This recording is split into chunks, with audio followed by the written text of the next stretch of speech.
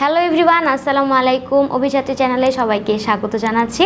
আপনাদের মধ্যে যারা সিঙ্গাপুরে ট্যুরিস্ট ভিসার জন্য যেতে চাচ্ছেন, এই ভিডিওটি কিন্তু তাদের জন্যই। সিঙ্গাপুরে যাবার জন্য প্রথমে আপনাদের প্রয়োজন হবে একটি ট্যুরিস্ট ভিসার আর এই ক্ষেত্রে আপনার কিছু ডকুমেন্টস আগে প্রয়োজন হবে, যেগুলো হচ্ছে আপনার একটি পাসপোর্ট এবং পাসপোর্টের সাথে পাসপোর্টের ফটোকপি লাগবে।